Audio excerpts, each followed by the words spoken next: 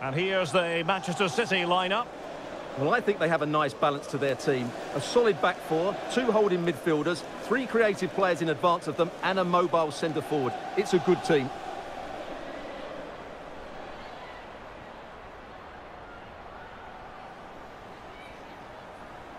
So the starting lineup for Liverpool.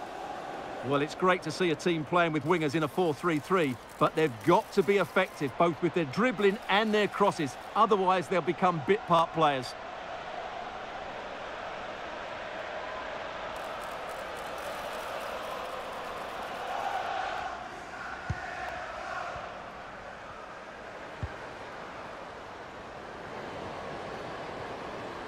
And they need to get tighter here.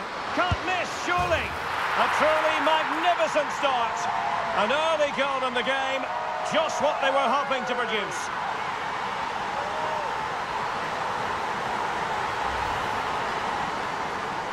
Well, look at this again, because this is a really well-worked goal. The passing is incisive, the movement off the ball is bright, and it leads to a fairly simple finish in the end. It's a great goal.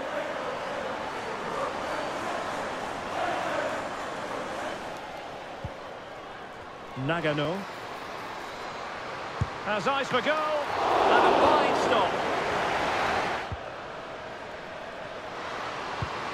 It might be. Oh, a goal for Liverpool, who are now on level terms.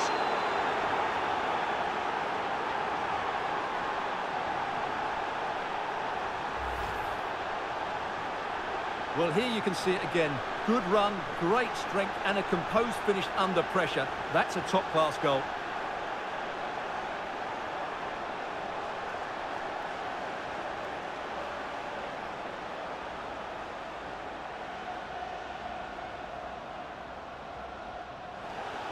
Hengen.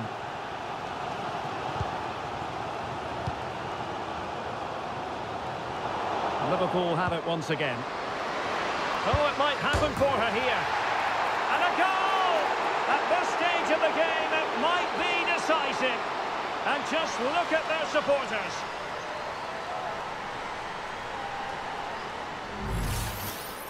Well, as you can see, it's a good finish. It just goes in off the post. It's perfect placement.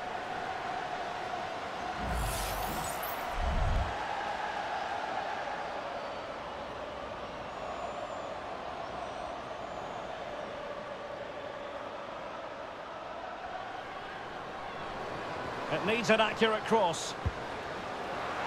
Just not testing the keeper at all with that cross. And that is all for this game anyway. It goes into the books as a victory for Liverpool.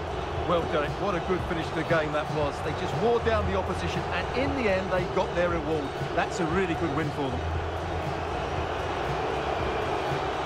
Well, she really was off the charts good in this game. A performance to be proud of. Your thoughts?